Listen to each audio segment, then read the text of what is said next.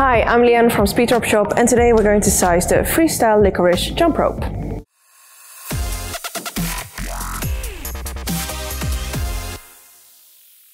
All you need is a good cable cutter. If you don't have one at home, you can also buy one in our shop.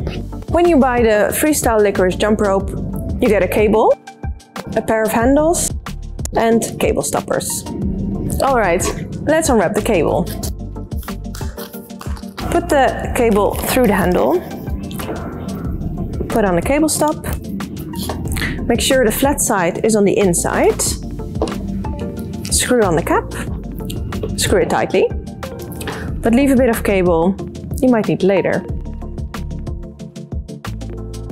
Second handle on as well with the cable stopper.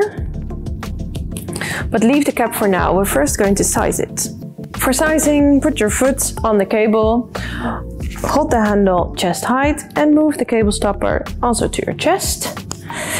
Then you put the cap on the cable and screw it tightly. Move the handle to the cable stop. As you can see, there's just too much rope. So let's cut it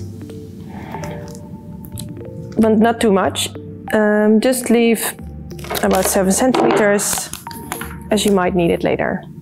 Alright, you're now ready to jump!